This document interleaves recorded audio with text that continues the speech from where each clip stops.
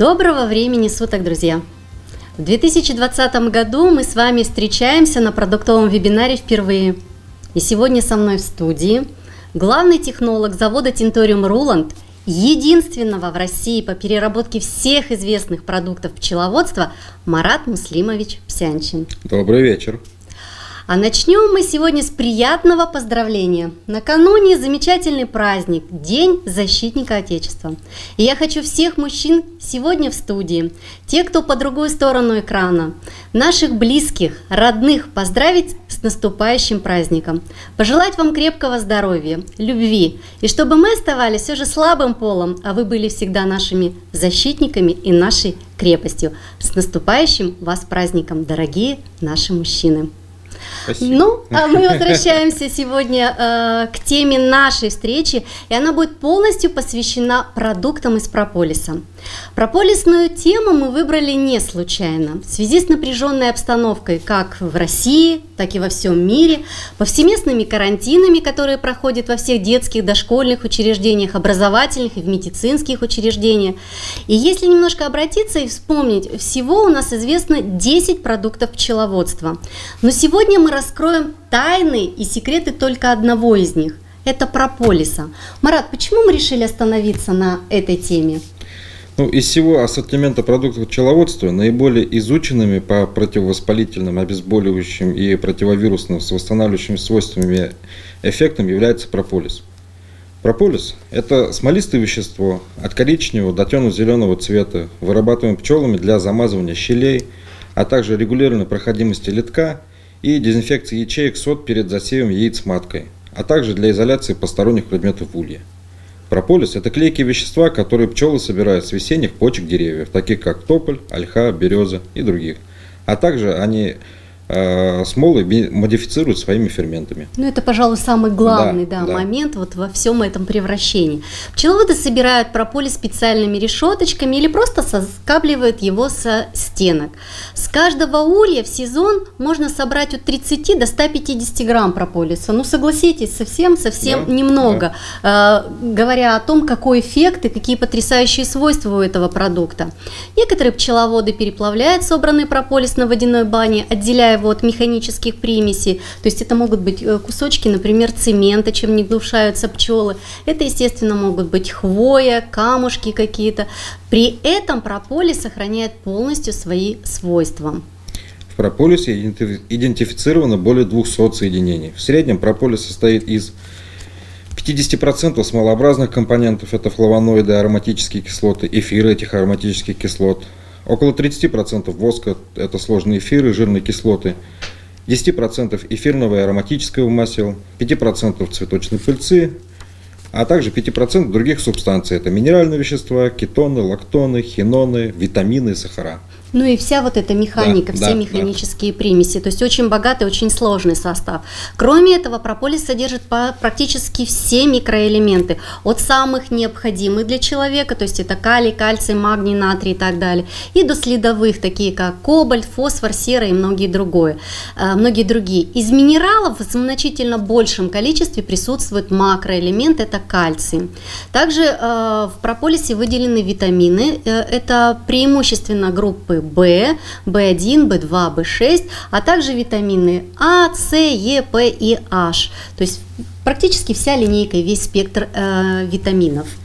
Абсолютно верно. Также в состав прополиса входят аминокислоты, такие как аланин, аминомасляная кислота, аргинин, аспарагиновая кислота, глицин – триптофан, фенилаланин и цистеин. Многие из них являются незаменимыми для человека. Вот это, пожалуй, да. самое важное, да, то есть которые не синтезируются организмом э, да. самостоятельно, мы их должны получать извне, в том числе из прополиса.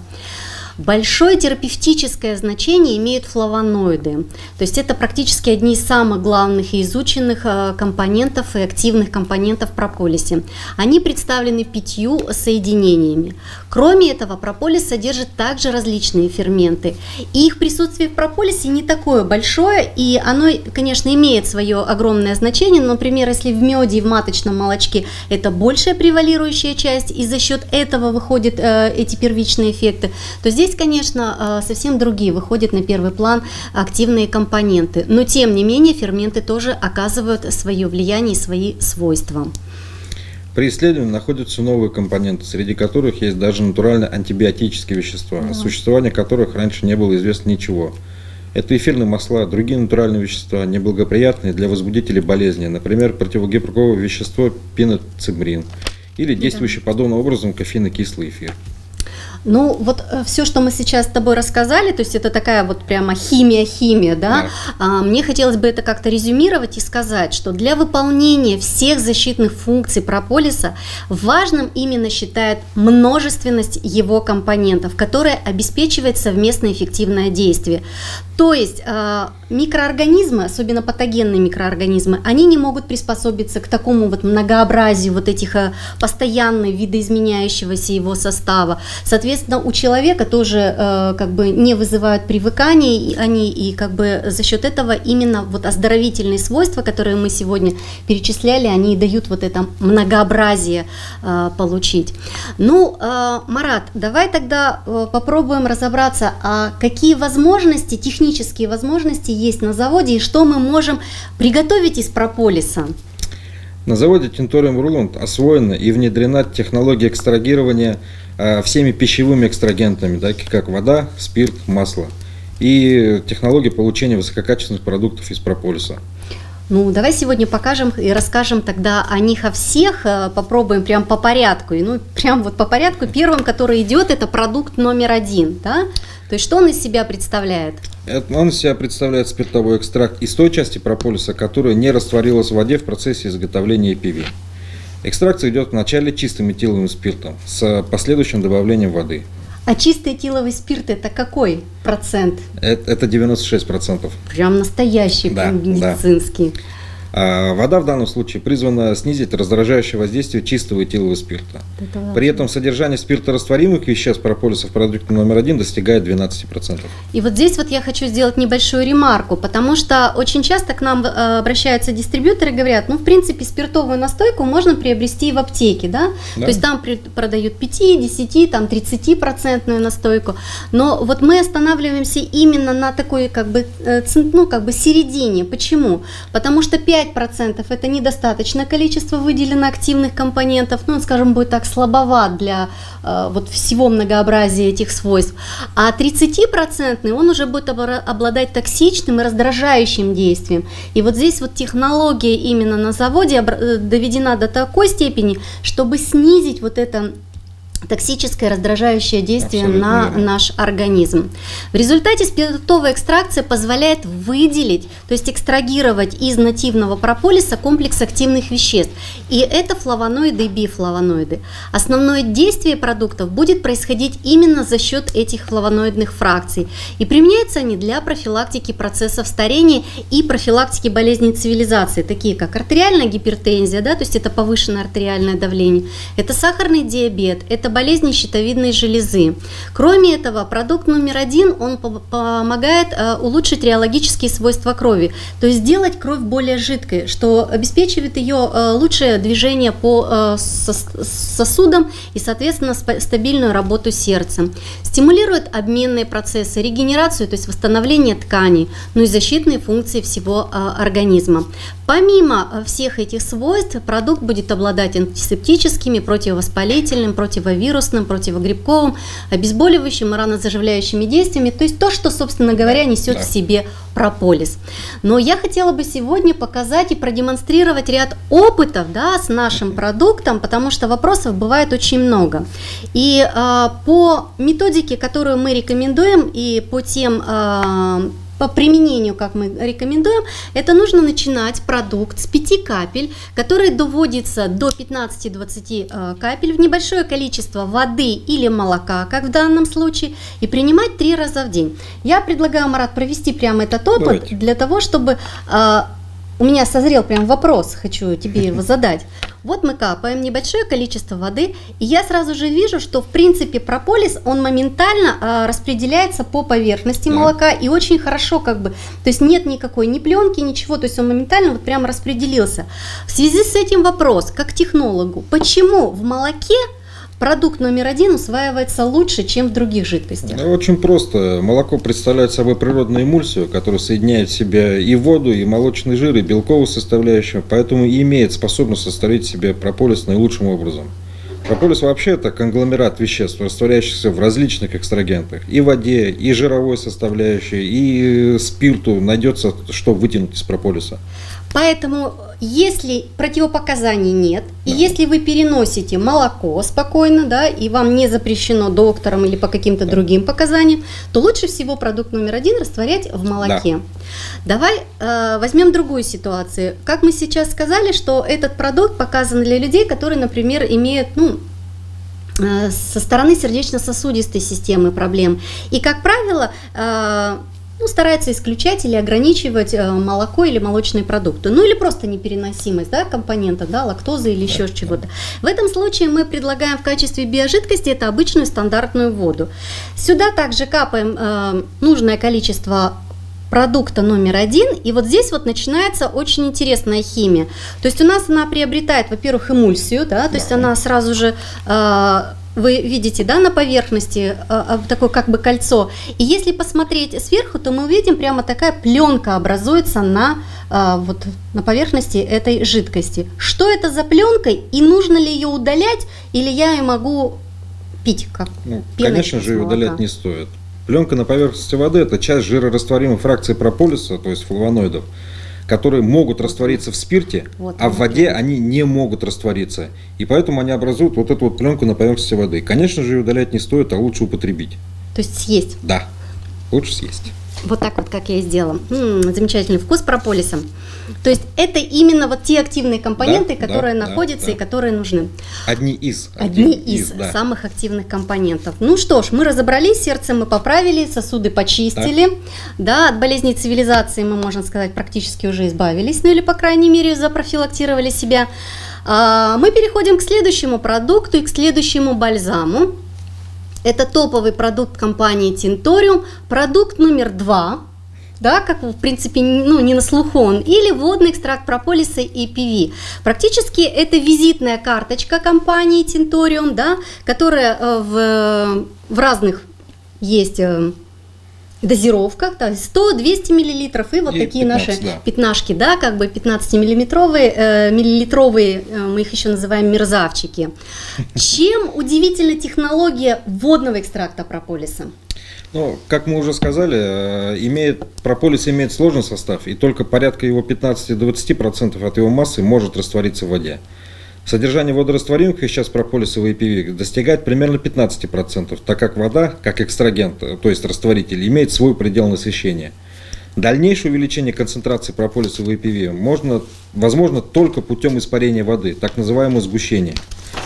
А, хочу сказать, что компания Tintorium близка к внедрению щадящего метода сгущения APV. Это испарение воды при температуре меньше 40 градусов с помощью глубокого вакуума. При этом увеличение концентрации прополиса в APV, так называемый ноу-хау, внедренная компанией Tintorium, а, будет обеспечивать сгущение таким образом, чтобы основные действующие вещества APV не разрушались. Так, ты сейчас прямо ну вот открываешь вообще новую занавес, как бы. Да. То есть мы на пороге стоим новых открытий, да, я так понимаю, да. новых технологий да. и, возможно, новой линейки продуктов, даже не одного продукта. Абсолютно верно.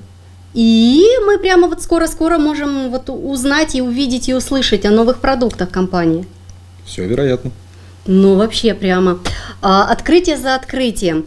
Будем ждать новых э, топовых продуктов и новой топовой линейки с компанией. А мы возвращаемся к водному экстракту прополиса и ПВ. В результате водной экстракции Экстрагируется другая группа активных компонентов. И действующие вещества – это гидроксикоричные кислоты, такие как кофейная, э, кумаровая, розмариновая, хиновая, хиновая феруловая, феруловая и другие. Наличие этих кислот объясняет его совершенно другие свойства. Прежде всего, антибактериальное, противовирусное, противовоспалительное, противовирус, э, противогрибковое. То есть вся защита нашего организма от неблагоприятных факторов окружающей среды и, соответственно, патогенных микроорганизмов. Что является традиционным источником этих вот гидроксикоричных кислот? Откуда пчелы берут эти кислоты в прополисе перерабатывая? А из таких растений, как яблоко, груша, айва, виноград, манго, земляника, черника. Это если брать плодовые растения. Также угу. капуста, сладкий перец, томаты, щавель, сельдерей, чебрец, ревень. Также гидроксикорочные кислоты содержатся в чае, в кофе, в шоколаде, в семенах масличных. При этом есть еще нетрадиционные его источники. Это цветы и корень эхиноцеи, цветы ромашки аптечной, э, листья и плод лопуха большого, листья мелисы, кора лиственницы, ели, каштана, дуба, гребни винограда, листья гречихи татарской – Тогда, Марат, вот прям вопрос. Вот э, ты перечислил прям, ну, в принципе, доступные источники да. сырья, да, которые произрастают и у нас, ну, за исключением манго, да, произрастают в нашей, как бы, средней полосе России. Что будет, если я возьму мяту, землянику или вот то, что ты перечислил, какую-то гречиху, и просто сделаю водную экстракцию, то есть, ну, отвар по-русски сказать. Я в этом случае получу себе гидроксикоричные кислоты? А, да, конечно, получите, но при этом их будет очень мало, большая часть будет разрушена. А за, разрушено будет за счет чего? За счет теплового воздействия? За, за счет теплового воздействия, за счет э, того, что, грубо говоря, запаривание идет кипятком.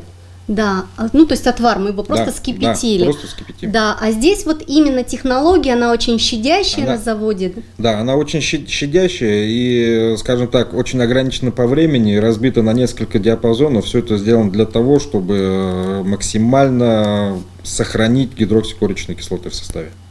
И вот здесь вот очень важный момент, то что в экстракте прополисом водным имеется концентрированное содержание этих коричных да. кислот. И они э, имеют четкий диапазон, то есть каждая вот из которой мы перечислили, это кофейная, кумаровая, хиновая, феруловая, розмариновая и так далее, они имеют свой диапазон и строгую э, концентрацию этих э, важных активных э, компонентов. И отсюда же сразу же следующий вопрос вытекает. Очень часто наши дистрибьюторы, наши потребители говорят, что мы берем вот э, разные партии да, продуктов, да. и они отличаются цветом, запахом, даже вкусовыми своими качествами, они отличаются. В чем здесь главная стабильность? В чем здесь вот может быть? Как раз таки стабильность э, главная заключается в том, что суммарное содержание всех гидроксикоричных кислот, оно всегда одного, одного и того же порядка, всегда она постоянно, ну, с маленьким плюсом-минусом, поэтому mm-hmm. она всегда держится возле одной цифры. Да, и поэтому, несмотря на различия цвета, запаха да, и вкуса, да, да. вот эта суммарная цифра гидроксикоричных кислот, она всегда одинакова, да, поэтому здесь да. нужно быть всегда ну, э, спокойным, поэтому качество и честность – это основной девиз э, Тинториум Руланд. Ну, нужно еще и понимать, что прополис, он всегда разный бывает, э, в зависимости от климатических условий. Даже на одной и той же пасеке год от года прополис будет, будет разным. Да. Но при этом содержание гидроксикоричных кислот у него всегда одинаково. Ну, вот это является да, основным да. компонентом. Ну что ж, понятно. А, сейчас, собственно говоря, от технологии мы переходим к действию этого продукта. То есть водный экстракт прополиса а, активен в отношении многих патогенных микроорганизмов, вирусов, грибков, как бы даже простейших. То есть а, коричные кислоты, как основные компоненты, они будут оказывать вот противогриппозное действие, да, то есть сегодняшняя да. наша, собственно говоря, тема была, а, поскольку а, водный экстракт прополиса оказывает вот это противовирусное действие. Результаты доказали, что коричные кислоты являются активными компонентами с противовирусным эффектом. Это, кстати, очень многие научные данные а, и разработки вообще мировых как бы тенденций. Поэтому на сегодняшний день, когда идет вот эта эпидемия вирусных, карантинных как бы дел во всей стране, конечно, нужно нужно для профилактики обязательно использовать препараты и продукты, э, содержащие прополис. Да, и у нас на заводе в центральном офисе также вводятся все эти карантинные действия, и для всех сотрудников мы в обязательном порядке используем все наши продукты. Ну, поэтому мы стараемся держаться, да, да, да. и держим всегда на, на рабочем месте. А, кроме этого, есть очень интересные исследования, которые проводились, это в качестве доказательной медицины, ну вот один из них, как бы примеров, да, мы хотим сказать, это Центральный научно-исследовательский институт гастроэнтерологии в Москве, который оценивал воздействие водного экстракта прополиса на состояние кислотообразующей функции желудка с возможностью уничтожения возбудителя язвенной болезни болезни желудка, так называемого геликобактер пилори. Так вот, результаты показали, что в 100% случаев есть положительный результат. В одном случае достигается полное уничтожение этого возбудителя, в другом четкое снижение его развития, то есть обсемененности. Поэтому Доказано, что водный экстракт прополиса эффективно влияет на и подавляет рост э, этого геликобактер пилори. Ну и следующий вопрос, как я не могу его просто не задать. Э, Марат, Могу ли я в домашних условиях взять, ну, самые простые, да, компоненты, это вода, это прополис, который я могу приобрести там у своего знакомого пчеловода или на рынке, э, и приготовить водный экстракт прополиса, ну, дома. А, тот водный экстракт прополиса, который готовим мы, приготовить не получится, потому что, еще раз повторюсь, мы его готовим в очень щадящих условиях. А, грубо говоря, дома можно сделать переваренный экстракт прополиса, э, его полезные действия будут значительно ниже, чем наш IPV. А если даже нельзя сказать, что может быть и... А может и не будет. А, имеется э, в том, что даже может быть и хуже сделаем, потому да, что да. не выдержаны никакие технологические условия. То есть кто знает. Кто знает. А, я предлагаю посмотреть сейчас небольшой видеофрагмент о том, как готовится водный экстракт прополис на заводе Тинториум Роланд. Для того, чтобы рассеять вообще все сомнения и для того, чтобы каждый из вас понял какой то сложный многоступенчатый процесс. Давайте посмотрим. Производство бальзама APV – сложный высокотехнологичный процесс, который включает в себя следующие этапы – Нативный прополис проходит два этапа контроля – визуальный и лабораторный. В лаборатории нативный прополис проверяется на соответствие требованиям ГОСТ. После контроля нативный прополис поступает в экстрактор для переработки. В экстрактор подается вода, прошедшая через уникальный комплекс водоподготовки. Вода обработана шунгитом и ионизирована серебром. Нативный прополис и подготовленная вода тщательно перемешиваются до однородного состояния. Процесс экстракции протекает при постоянном поддержании определенной температуры и давления, которые контролируются датчиками в автоматическом режиме. Процесс управления выведен на сенсорную панель. Спустя несколько часов полученный раствор разделяется на фракции. Водорастворимые полезные вещества нативного прополиса полностью переходят в водный экстракт прополиса. С помощью перистальтического насоса через систему микрофильтрации водный экстракт прополиса перекачивается в накопительную емкость. Целостность фильтров контролируется в автоматическом режиме. Далее водный экстракт прополиса APV по трубопроводу подается на автоматическую линию фасовки.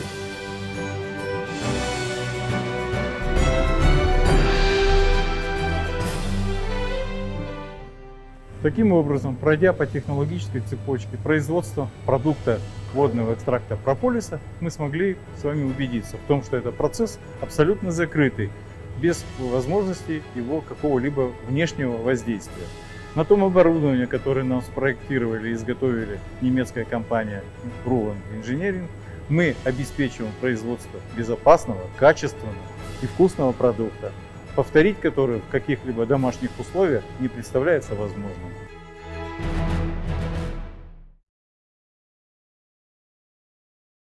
Вот поэтому мы и гордимся своим заводом, заводом Tintorium Roland, на который делает такие замечательные продукты. А мы переходим к следующему продукту из линейки э, прополисных. Это продукт номер три. Относительно новый продукт компании Tintorium, но уже который завоевал своих любимчиков, любителей и поклонников. В чем особенность технологии этого продукта? Ну, новые технологические процессы, инновационные методики и современное оборудование позволили создать новый комплексный продукт переработки прополиса. Продукт, содержащий извлекаемые спиртом флавоноидные соединения из прополиса, э, и сделать его безалкогольным. То есть арифметика этого продукта очень проста. То есть мы берем продукт номер один, номер один то есть Все это правильно. спиртовая настойка прополиса, которую сейчас вы, кстати, видите на экранах, да, который извлекается здесь да. комплекс активных веществ, это биофлавоноиды. Да. Это раз. Берем второй, э, продукт номер два, это APV, да, из которых мы с помощью водной экстракции извлекаем гидроксикоричные кислоты. Их объединяем в определенной пропорции и удаляем спирт. Вот это самое главное. Да. То есть суммарное содержание водорастворимых и спирторастворимых веществ вот в этих двух продуктах сколько будет в результате в продукте номер три? А, оно достигает 15%. То есть это как раз золотая да, середина. Да, именно есть, та золотая середина. То есть это получается э, доведена до совершенства технология, в результате которой идет более полное извлечение активных компонентов из прополиса и получение продукта с максимально насыщенной формулой активных компонентов. А есть такой интересный факт. Количество флавонолов и флавоноидов в прополисе выше, чем в красном винограде, выше, чем в 122 э, раза. В угу. апельсине 216 раз, в шпинате в 240 раз, а вот в сельдерее 893 раза. Поэтому, собственно говоря, цифры говорят да, да, за да. выбор. То есть вы можете, конечно, использовать и есть э, тоннами виноград или сельдерей, а можете просто взять продукт номер три и, собственно, Абсолютно получить верно. все эти активные компоненты. А использовать, кстати, этот безалкогольный, как ты подчеркнул, Марат, э, бальзам можно и детям, и взрослым, и водителям, и любым другим как бы людям, э, которые, профессиям, да, которые управляют, например, какими-то точными да, механизмами. В период эпидемии, восстановление после перенесенных заболеваний, после операции или до операции. То есть прямо у него спектр очень-очень большой. Да, то есть продукт номер три может быть рекомендован так же, как и EPV, более широкой аудитории. Но при этом следует учесть, что возможно образование осадка. Перед употреблением этот продукт номер три необходимо стряхнуть. Осадок – это частицы прополиса, выливать его не надо. То есть вот это очень важно, да? То есть если другие продукты да. мы такого нигде не говорили, то в продукте номер три мы прямо акцентируем, что вот этот осадок, когда да, мы берем да, этот да. продукт, просто его нужно несколько раз стряхнуть, и тогда вот эта вся активная фаза, она ну, однородно да. перемешается. Да.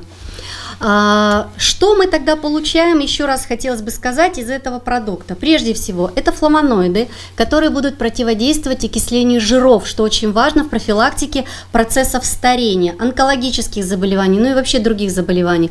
Улучшает реологические свойства крови, снимает сосудистые спазмы, стимулирует обменные процессы, защитные реакции всего организма. И вторая группа – это коричные кислоты, которые сфотографируются из прополиса. Они будут обеспечивать противомикробные антимикробное действие, проявлять противовирусную активность, обладают анестезирующими, антибиотическими, противовоспалительными действиями и способностью к обезвреживанию токсинов.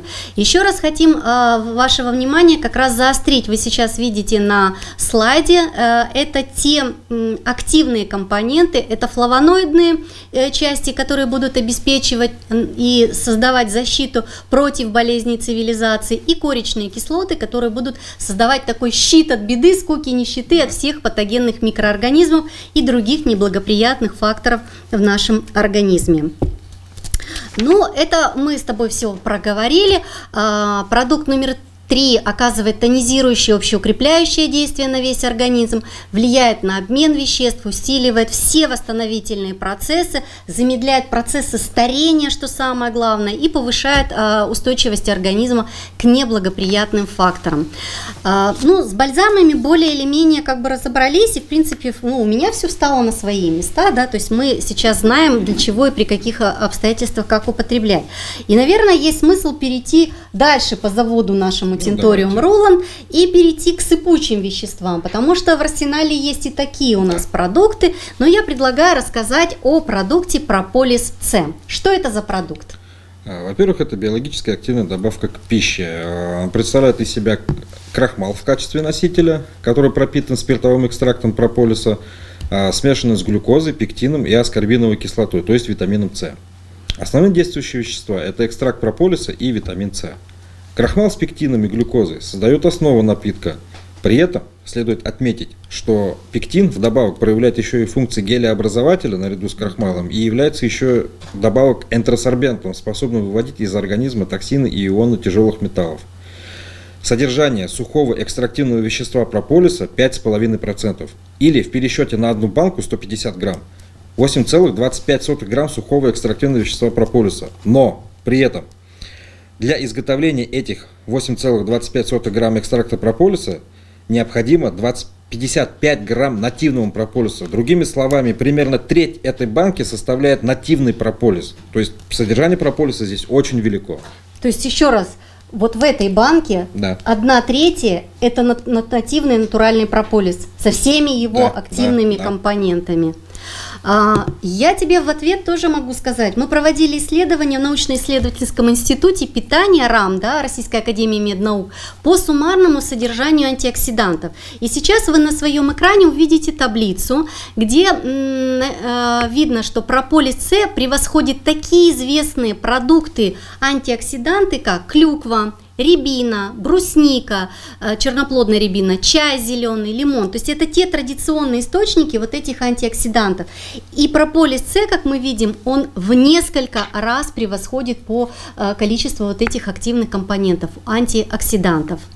А в чем особенность витамина С, который мы добавляем э, в этот продукт? Витамин С получает химико-ферментативным способом из глюкозы с помощью микроорганизма глюконобактер оксиданс. Флавоноидные соединения усваиваются и работают эффективнее в паре с аскорбиновой кислотой.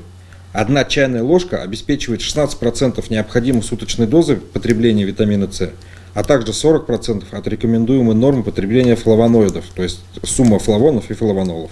То есть смотри, здесь опять получается очень интересная такая игра да, компонентов. С одной стороны, это витамин С. Мы знаем, что если мы вдруг заболели, да. или у нас какая-то продрома, то есть предвестники, неважно какой там вирусной инфекции или какой-либо другой, то мы можем дать себе ударную такую дозу витамина да, С. Да? Да. То есть, в принципе, здесь мы убиваем сразу же двух зайцев. То есть у нас и витамин С, и антиоксиданты, которые содержатся в прополисе, да, то есть полезные да. вещества.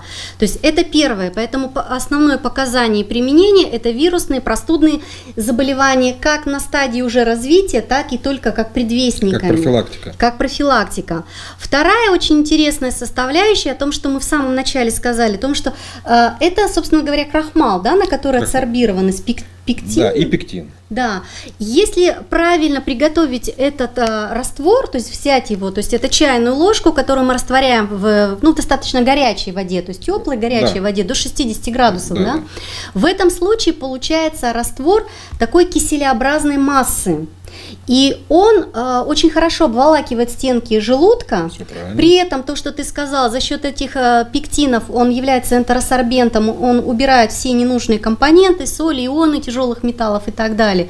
Но еще защищает слизистую оболочку. То есть если какие-то есть агрессивные компоненты, то есть, ну если по каким-то причинам человек дополнительно принимает лекарственные препараты, да, да. фармпрепараты, или имеется язвенная болезнь желудка, допустим, да, ну какие-то э, дефекты слизистой оболочки желудка, желудка. Поэтому этот продукт, он вот за счет вот этих обволакивающих свойств пектина, крахмала и прополиса, он, конечно, будет еще оказывать э, вот свое противовоспалительное защитное действие. Поэтому все заболевания желудочно-кишечного тракта, сахарный диабет, они все входят в список показаний этого продукта. А, ну, с этим продуктом тоже, в принципе, более-менее мы все э, разобрались. То есть достаточно он простой своей э, про, технологии. Э, давай перейдем еще к одной э, очень Давайте. удивительной технологии. Это медовые композиции. Вот я тебе ее даже предлагаю. Это медовые композиции. Э, тополек. тополек, например, да, с прополисом. Да, ну что можно рассказать про технологию производства медовых композиций? Мед после распуска подается в купажную емкость Затем в эту же емкость, или танк мы его называем, добавляется и остальное сырье. Это маточное молочко, экстракт прополиса, пыльца, перга, все зависит от рецептуры. А в данном случае в топольке это мед и экстракт прополиса. Согласна. Вначале происходит двойное перемешивание. Это рамная мешалка и гомогенизатор фреза, они вращаются разнонаправленно и с разными скоростями. При этом создается определенный турбулентный поток, позволяющий смешать все ингредиенты максимально равномерно. Затем при подаче на фасовку включается режим ультразвуковой гомогенизации. В чем его суть? Ультразвуковая гомогенизация основана на кавитации, когда жидкости подвергаются интенсивному воздействию звуковых волн и происходит возникновение чередующихся циклов высокого и низкого давления. Это приблизительно 20 тысяч, циклов в секунду. Во время действия низкого давления образуются маленькие вакуумные пузырьки. Когда пузырьки достигают определенного размера, они стремительно разрушаются во время действия высокого давления – и во время внутреннего взрыва локально генерируется очень высокие давления, ну, относительно высокие давления и высокая скорость струи жидкости. Поэтому такие полученные потоки, турбулентность, они разрывают агломераты частиц и приводят к э, достаточно сильным столкновениям между индивидуальными частицами. В итоге предварительно равномерно перемешанная жидкость превращается в однородную массу. Однако и здесь, э, когда мы делаем ультразвуковую гомогенизацию, мы стараемся режим э, ультразвука выбрать таким образом, чтобы действующие активные вещества не разрушались. Потому что ты сейчас сказал очень много страшных слов, и у меня, как у потребителя, э, первый вопрос – этот продукт очень ценен, то есть он не разрушает нет, полезные свойства нет, за счет вот этих нет. всех локальных э, пузырьков и всех остальных вот этих кавитаций. Нет, все, все остается в норме, все нормально. То есть, Мы а, проверяли. Проверяли. Да. Я почему на этом еще заостряю внимание, потому что очень часто, когда ты идешь, ну, в принципе, эта рецептура, она достаточно известна, Да, она конечно. в открытых источниках находится, и очень часто бывает, вот меда стоят, да, э, с разными наполнителями, там, даже с орехами, там, с маточным молочком или с э, какими-то другими продуктами пчеловодства, и бывает вот этот эффект фракционирования, то есть расслойки, да. Ну, расслоение, да. Когда э, одни компоненты всплывают наверх, да, более легкие, а мед, как бы, наоборот, опускается вниз. Как бы, ну, это, во-первых, и выглядит очень, ну, скажем так, не совсем эстетично, но мы-то еще как э, химики, биологи и медики знаем, что на границе вот этих двух сред Всё это правильно. самая благоприятная среда для заселения микроорганизмами.